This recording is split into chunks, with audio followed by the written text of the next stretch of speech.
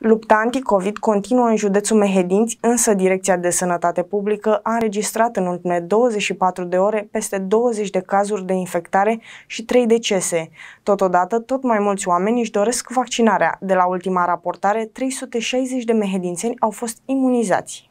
În ultimele 24 de ore, 180 de persoane s-au vaccinat în centrele de vaccinare din municipiul Drobeta Turnu Severin, 60 de persoane în centrul de imunizare din Strehaia, 60 în Baia de Aramă și alți 60 de mehedințeni în Vânju Mare.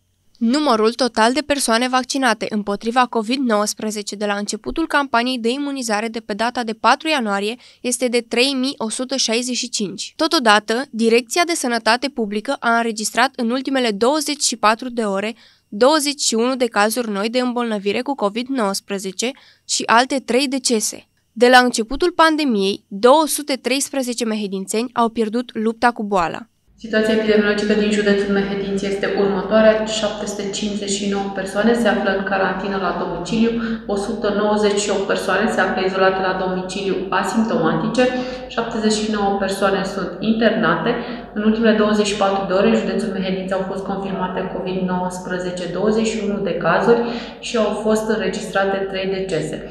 Rata incidenței cumulative COVID-19 la 1000 de locuitori în județul Mehedinți este de 0,89.